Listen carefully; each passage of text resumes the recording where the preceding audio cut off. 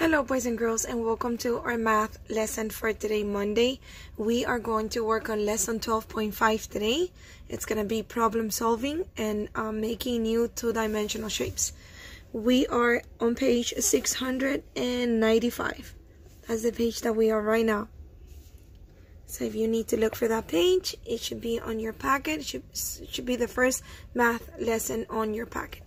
So let's go ahead and read the problem that we have over here. It says Cora wants to combine uh, shapes to make a circle. She has this shape. It's um, like a quarter of a circle. So I'm going to show it to you right now. This is the shape that she has. You see? We need four of these to make one circle. How can Cora make a circle? Well, let's go ahead and see says, what do I need to find? Well, what I need to find is how Cora can make a circle. So we go ahead and we trace the word circle. We're going to trace it.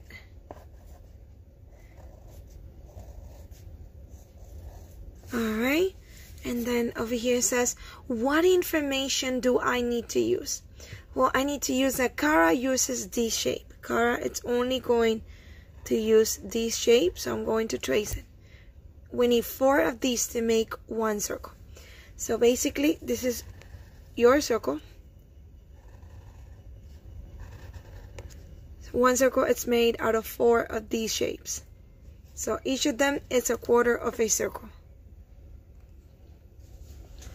Alright, so let's take a look at the steps. It says, show how to solve the problem.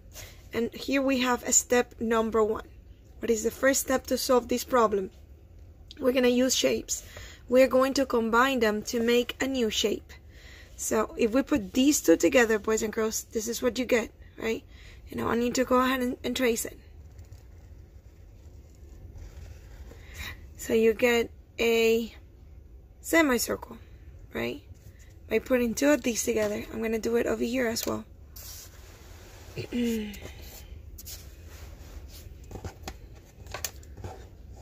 Alright, so I'm going to show you how we put two of those together and we make a semicircle.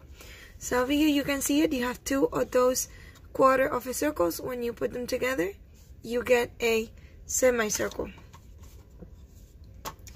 So now let's change um, its position really quick so you can see them. So we have one on top and the other one on the bottom because that's what, you're going to see now. Alright, so after you have one semicircle, it says step number two, then use the new shape. We're going to use the new shape twice. So we have one dome or semicircle over here and one over here. When we put them together, what happens? What shape do you get? You get a circle, right? And I'm going to show you really, really quick. I'm gonna show you over here. I'm gonna repeat what what I did. I have two semicircles. I put them together. And now I have one circle. So how many of, oh, of those did I use? I used one, two, three, four. Alright, we're gonna go ahead and turn the page now. Here we go. Let's take a look at number one. There, there are a few things that we need, we have to keep in mind. Says, what do I need to find? What information do I need to use? So very important that you keep that in mind.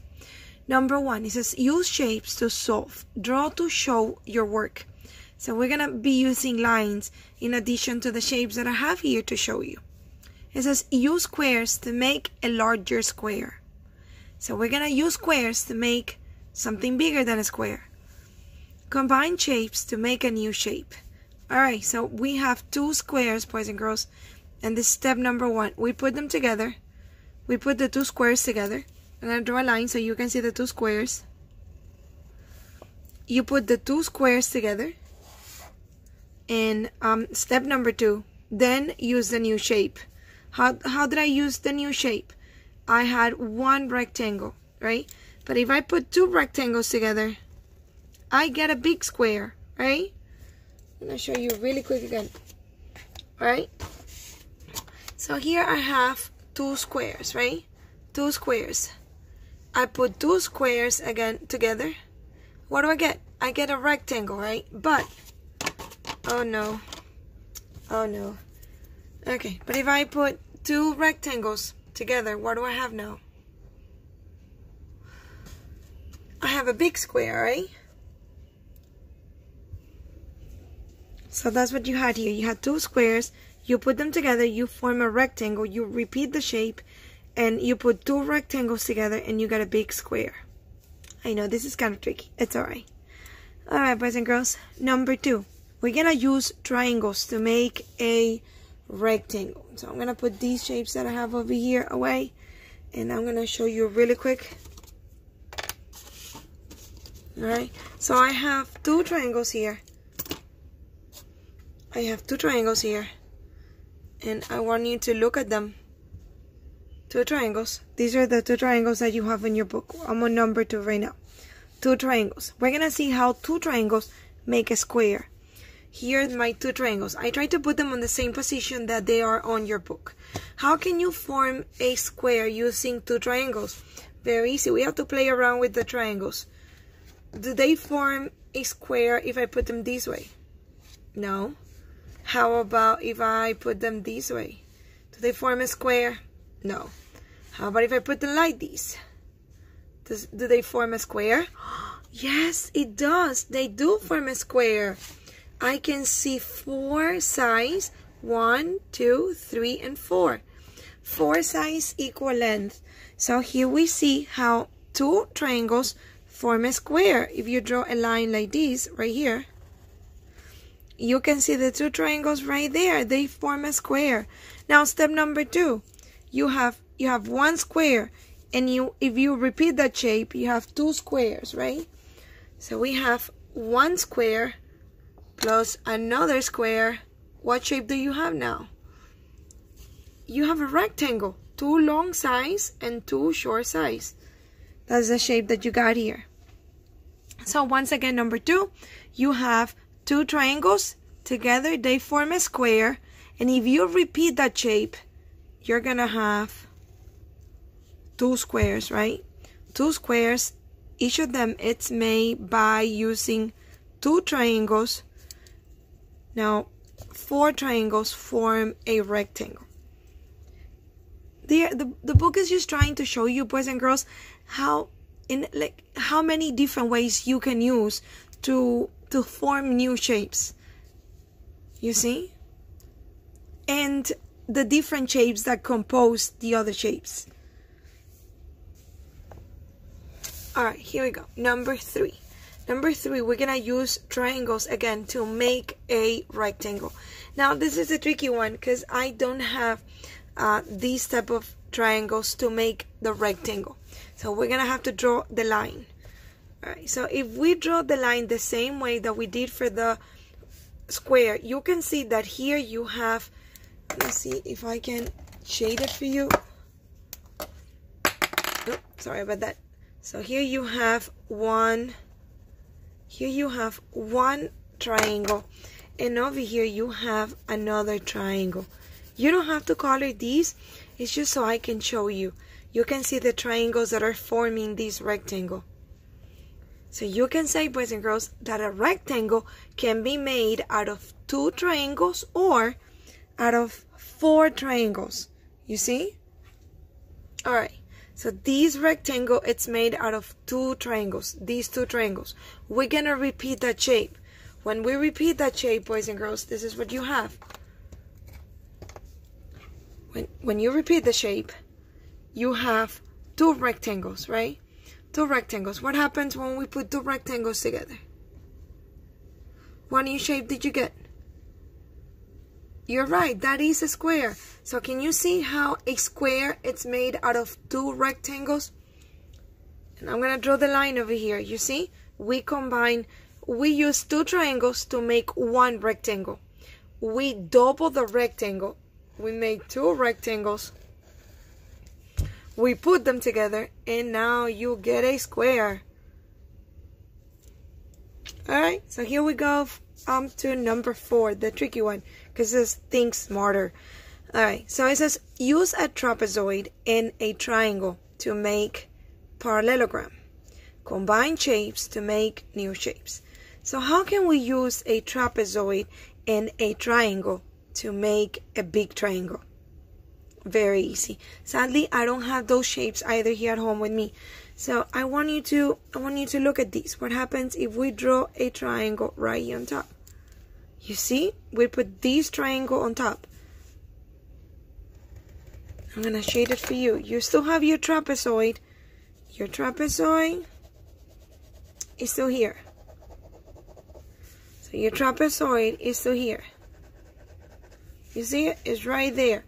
Your trapezoid is right right there. But then your triangle is right here.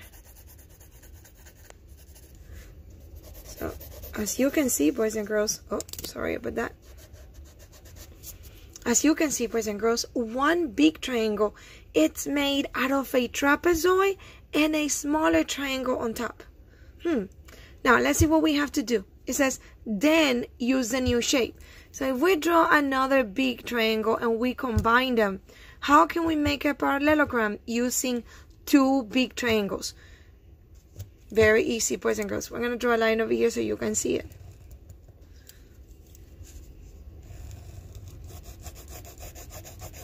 You can see one triangle, one big triangle over here, and another big triangle over here. You see? So, two big triangles, two of these can make a parallelogram, right? And it, you can also say that this is a rhombus. If you if you move it around, it looks like a rhombus. All right, boys and girls. I know this is tricky. We're just looking into the shapes, right? All right. So here we have a little quiz that comes with this lesson. So I want you to go ahead and write your name and your last name at the top of the page. Very important, boys and girls, that we write our name and last name at the top of this page. This is your mid-chapter checkpoint. It's like a little quiz right in the middle to see how well you're understanding this, this uh, chapter. All right. So let's see what number one says. Let's see what we have to do in number one and two because it's basically the same. It says write the number of sides and vertices. The vertices are also the corners. So let's do the sides first. How many sides does this shape have? This shape has one, two, three, and four sides. You have to write the number. Go ahead and, and, and write it. The trapezoid has four sides. We count four sides, yes, we counted them. Alright? So four sides. The trapezoid has four sides. You need to write it. Tienen que escribirlo que tiene cuatro lados. How about the vertices? How many vertices does he have? How many vertices? These are the vertices. You count the vertices and write it down. Quiero que cuenten el número de vértices y escriban el nombre aquí. Vamos a contar cuántos vértices hay y escribir el nombre aquí. You're going to count how many vertices are there and write the number.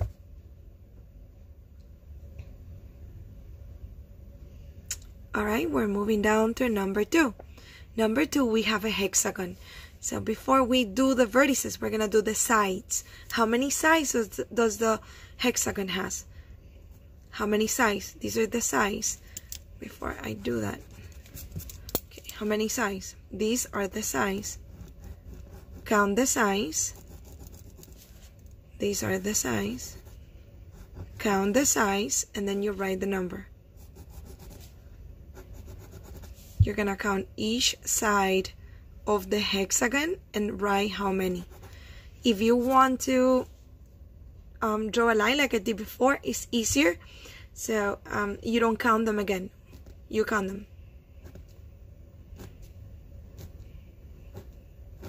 You're gonna write how many sides does the trapezoid, does the hexagon have? Don't forget hexa means six. How many sides does the hexagon have? And then how many vertices? How many vertices does it have? ¿Cuántos vértices tiene? The vertices are the corners. How many vertices does it have? These are the vertices where two lines, where two sides meet they form a vertex. So how many vertices does it have? ¿Cuántos vértices tiene el hexagon? You're going to write it down right there. Lo van a escribir aquí, el número de vértices. ¿Cuántos vértices tiene? Aquí va el número de sides. Sides son los lados. Vertices are the corners. Las esquinitas. Alright, boys and girls. So let's move on to number three. Circle the shapes that can combine to make the new shape. So this is the new shape. What are the shapes that you can see here? Well, we're going to draw lines.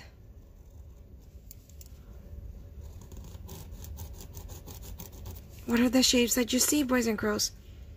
Do you see this shape? This is a quarter of a circle. Do you see it? What shape is this? Do you see it? It might not be in the same position, but it's there. It's one of these. You're going to circle two of these. Two of these. Out of the three shapes that you have here, you're going to circle two of them. De las tres figuras que tienen aquí, van a circularme dos. Hay dos de estas tres figuras que forman esta que está aquí. Once again, out of these three shapes, you are going to choose two of them. Two of these shapes form this shape that you see here. Dos de estas figuras forman esta figura que ven aquí. Which ones um, are those? You circle them. Alright, number four. Number four, which new shape can you make? What is a new shape that you can make?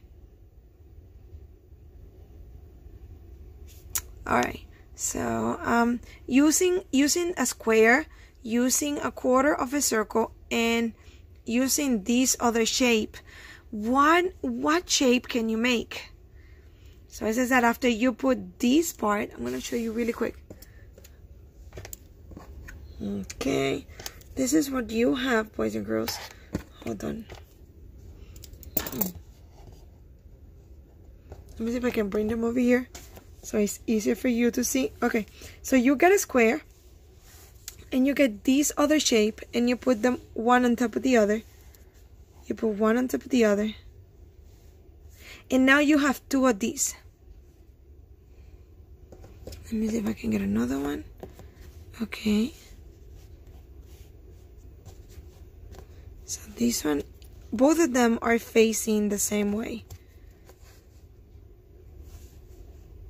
both of them are facing like facing that way right? All right so let's see. If we put them together what do we get? What shape do we get when we put them together?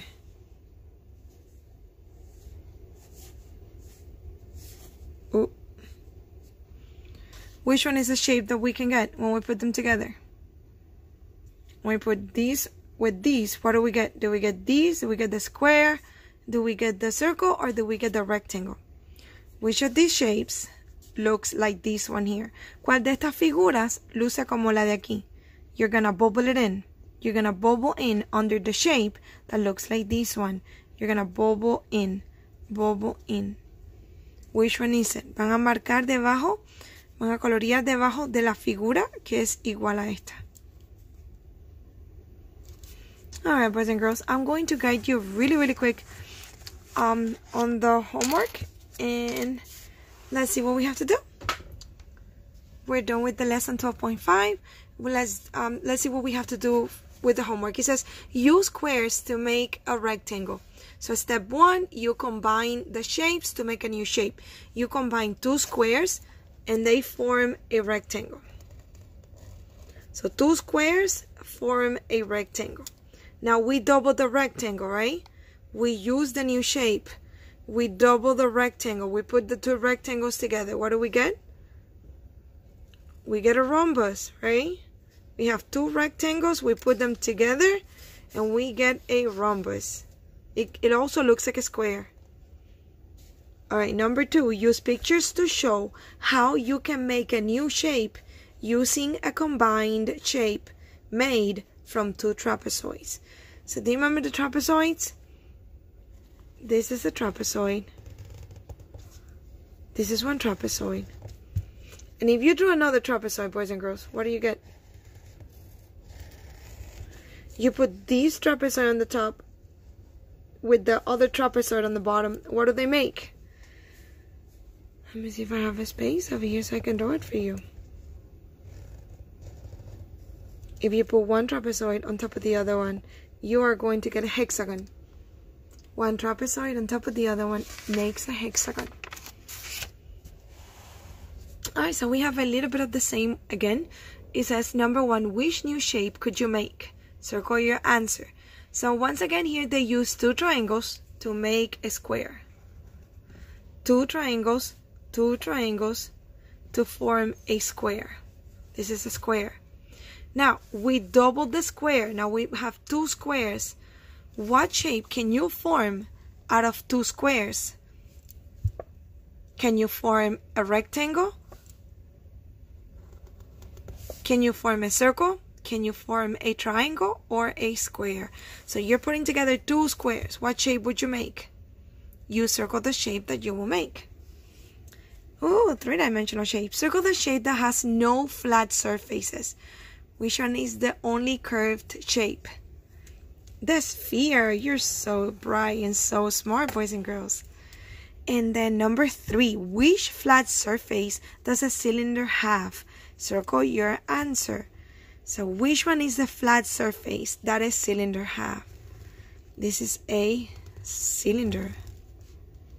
A cylinder it looks like a can.